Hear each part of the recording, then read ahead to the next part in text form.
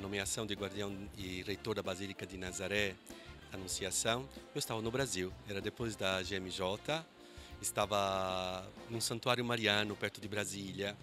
E assim eu já comecei a entender que era uma nós, nós dizemos em italiano Dio incidenza, era uma Deus coincidência. É uma semana que tomei posse aqui como guardião e reitor da Basílica e depois de uma semana nos veio visitar um grande amigo, porque eu sou um ex-aluno salesiano. É, fui aluno salesiano e por Dom Bosco, desde criança, tenho uma grande, grande amizade e amor. Depois de uma semana, Dom Bosco na Basílica da Anunciação.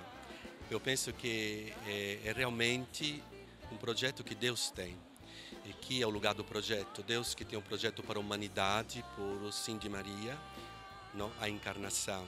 E Dom Bosco, projeto de Deus para os jovens, projeto de Deus para para a juventude do mundo, aqueles mais, os mais necessitados, não? Dom Bosco também é um projeto de Deus.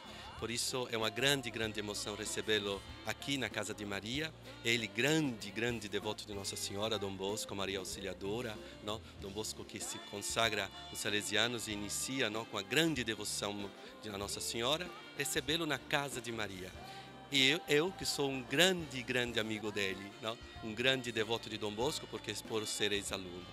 O que importa a juventude santa?